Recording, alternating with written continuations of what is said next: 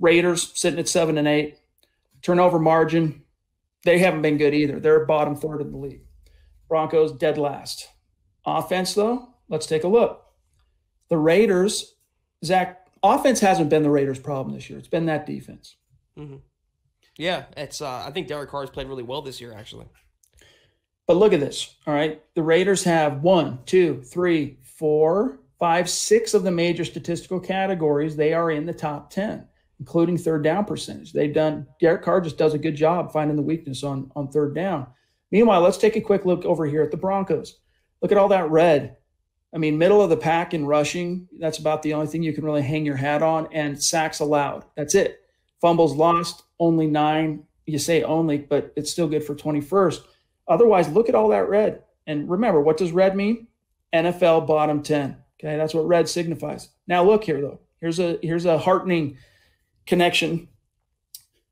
The the Raiders defense, Zack, is like the mirror image of the Broncos offense. Look at all that red. Right. Two spots where they're middle of the pack, but everything else dead last. Meanwhile, the Broncos defense has definitely felt the effects of all this injury turnover because even though the Broncos went seven and nine last year, they were an off a defense, excuse me, that were had many statistical rankings uh, in the top of the league. The only thing they have to hang their hat on this time is red zone. So this is the this is the head to head comparisons here. What jumps out to you, Zack? Well, this is this is going to be another situation where it's up to the Broncos offense to likely win the game. I, do I do believe that Carr and the Raiders offense and Jacobs and Waller and all the receivers they're going to get their yards, they're going to get their points. I do think the Denver defense though can keep them pretty much limited for the most part. But it goes back to the offense and how good is Lock going to be? How good is the game planning going to be? How good is the play calling going to be? How good is the running game going to be without Phillip Lindsay now?